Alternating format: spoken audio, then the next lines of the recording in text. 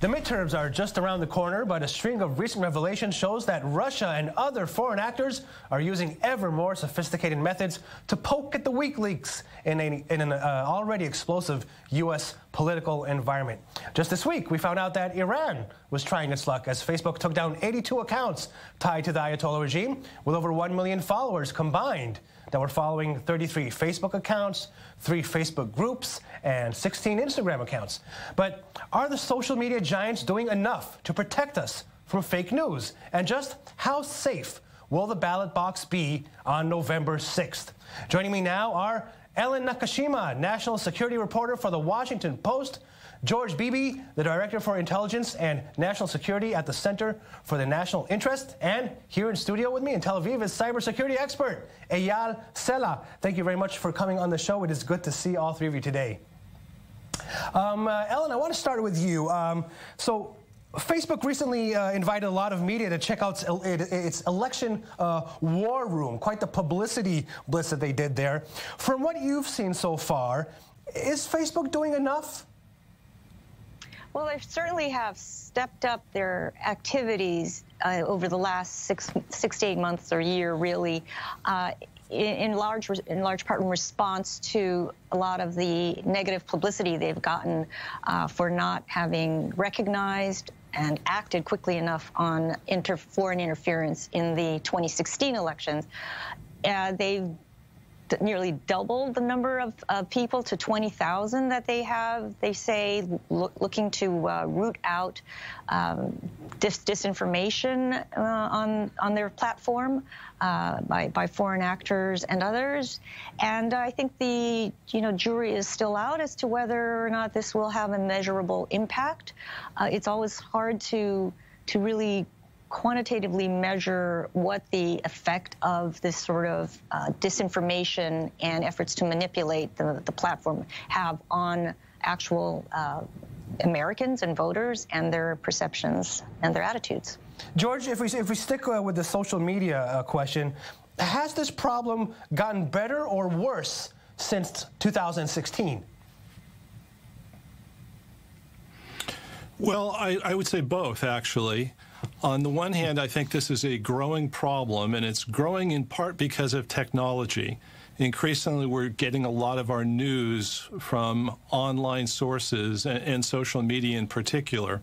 And it's very easy for foreign actors to involve themselves in disseminating information through this medium. So, in that sense, this is growing and is likely to continue to grow over time.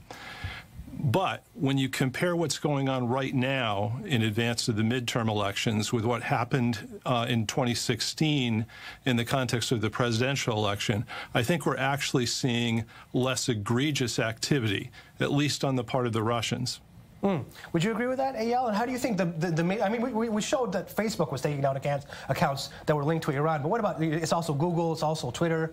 So I think it's interesting that now everyone are tuned into this type of activity, both the government and the technology companies. So everyone is looking at this type of activity, and it would make sense that it would decrease as a result of that and maybe even we are not, we don't know yet what's going to happen or might, ha might happen not even in these uh, midterm elections, but next time uh, maybe they will try new things. But I agree that it will obviously continue as long as it gets the results of making the people distrust the system, uh, the mm. media, and the democratic system. Mm. Ellen, th these, these countries, they can attack uh, specific campaigns, they can attack uh, the election and voting infrastructure, uh, and they can also, like we just talked about, they can spread propaganda on, on social media.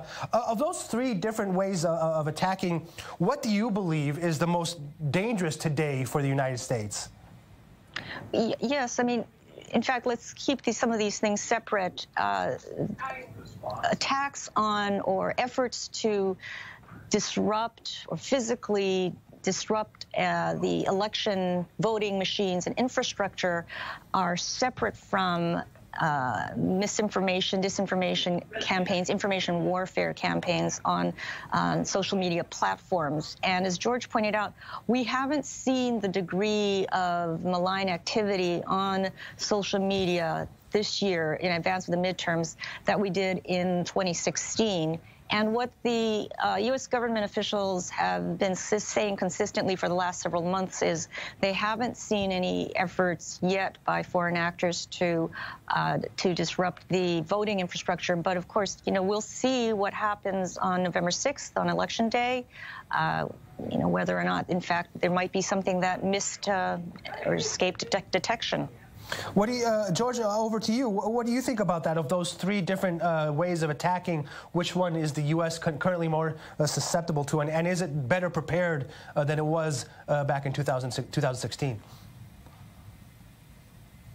Well, I think uh, Ellen's exactly right. Clearly, the most threatening type of attack would be on the, the voting machines, the electoral systems themselves. We saw in 2016 that the Russians actually probed those voting systems.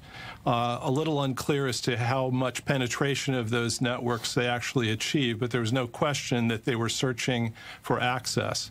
Um, and that I think is something that we're much more aware of right now than we were in 2016. We've taken some steps to uh, reinforce the resilience of those systems against attacks. But I think clearly we have much more distance to travel before we can breathe easy that there's not really a, a viable threat to those electoral systems. So when you talk about those electoral systems, George, I just want to uh, follow up quickly. Is it far fetched to think that we could see uh, Russians, for example, meddling with uh, voting numbers and, and tallies after the vote, like we would see wrong numbers? Well, it's certainly technically feasible. Um, and even if uh, the Russians were not to manipulate the voting numbers in some way, they could actually use disinformation. That is, the the willful use of, of wrong information to imply that they had messed with the voting numbers. Mm. That could have a very significant effect on popular perceptions. Now, so far they've done neither. Um, technically feasible, I think, to, to actually get into those systems and manipulate the numbers. We don't have an indication that the Russians have done that or that they intend to do that, but it's something that we very much need to defend against. Eyal, the, the, the, the, Pentagon has also gone on an offensive, and I'm wondering can a move like what the, the Pentagon is doing, the, calling the Pentagon cyber mission, can it actually stop this kind of meddling, or are they hitting at a, just one drop in a very large ocean? So few things about the Pentagon offensive. First, personally, as, as much as I could find, I have not uh, heard about too much real offensive. They, they said, or at least what the, the media said, they, they were warning the operators uh, that they are tracking them, that right. they know what to do. I, I'm not sure that's exactly the type of offensive, at least not the, you know, the edge of the offensive that is possible. It is a part of what they can do, and I think it's very important to remember that you don't have to combat cyber with cyber. You can do many other things, and part of it is what they are doing now, uh, uh, outing the fact that they are uh, doing that. Mm. Ellen, when, when Russia and Iran and maybe others, uh, you know, Trump has hinted at China, uh, are doing this, uh, knowing full well that they will most likely be um, exposed in the media. What does that say about U.S. deterrence? It seems that they don't really care about being caught. I mean, uh, should should the U.S. be be doing something different? Well, so it's interesting that this uh, this whole trend to publicly disclosing and naming uh, nation states that are behind these malign act actions is is actually fairly recent. Back in the Obama administration, for years it was very difficult to get the, the government to publicly uh, name China, for instance, behind uh, cyber uh, economic espionage. And it really wasn't, in fact, the Obama administration dragged its feet on, on publicly pointing to Russia, the Kremlin, as being behind the 2016 interference campaign, even when they, they knew full well, they had known for months uh, that, that, that Russian actors were, were doing this. So I think they are belated, the government has belatedly come to the uh, conclusion that public uh, naming and shaming, if you will, is is a is, is a minimal part, is this key part of deterrence, but it's not sufficient. And It is not the only thing they can and should do.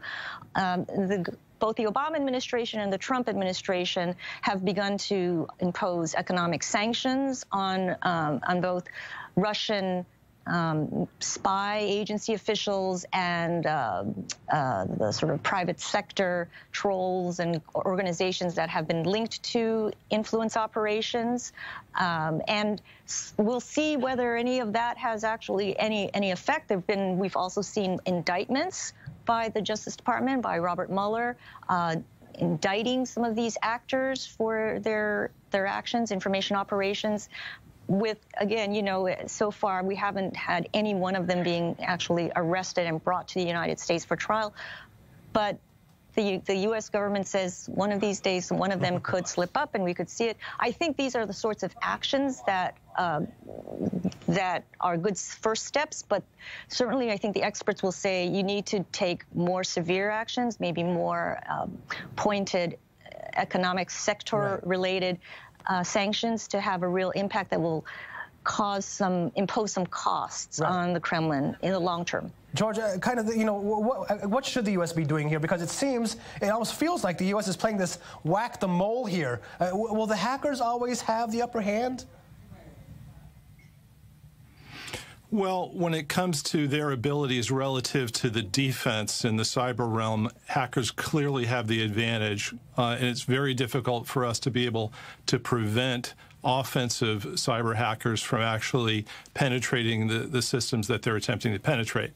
But uh, I would say also that we're still feeling our way forward on how to respond to this kind of activity. What actually deters? Mm. Um, and I think some of the naming and shaming that Ellen referred to is our effort to try to grope forward towards something that will be more effective in imposing penalties on uh, the other side on this stuff. I think the other thing we, we need to consider, however, is when you deter someone, you want simultaneously to impose costs for bad behavior, but also hold out the prospect of rewards for good behavior. Mm. And so far, we've only paid attention to one side of this, the penalties. Uh, we've not asked ourselves if the Russians actually, or the Iranians or other actors for that matter, actually comply with the behavior that we want them to comply with, what things happen that give them rewards for doing that. So far, we've imposed only cost, and we seem to have indicated that those costs will be imposed regardless of the other side's behavior. Mm. And I think that perversely incentivizes defiance on their part. Hey, Eyal just wrap it up for us. I'm kind of curious about who, what the, what's the profile of an average person hacking for the FSB or for China or, or Iran? And, and, and, of all those, for example, who is more dangerous or, or, or, capable of doing more harm to the United States? Well, the profile is someone who looks exactly like you and me. they don't, they don't really? look any. Yeah, yeah, probably you. They, it, there's many different uh, types of operators. You can be a hacker or the software developer to develop the malware that they use. You, you can be an analyst. You can be any one of uh, these types. Uh, who is the best? There are several countries that are known to have better capabilities, such as Russia mm. and China, North Korea. Uh, Iran is very active, is not as capable technically, at least as far as we know until now. And I didn't mention the Western countries that have very good capabilities in this field. Okay, we'll have to wrap it up there. Ellen, George, and Eyal.